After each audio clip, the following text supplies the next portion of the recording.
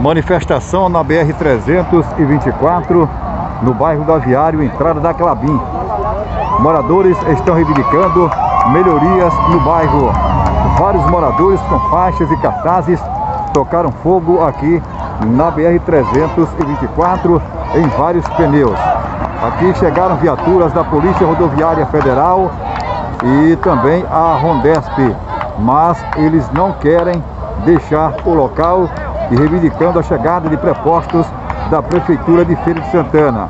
O engarrafamento é grande no sentido Feira Salvador, muitos veículos parados aqui na pista neste exato momento.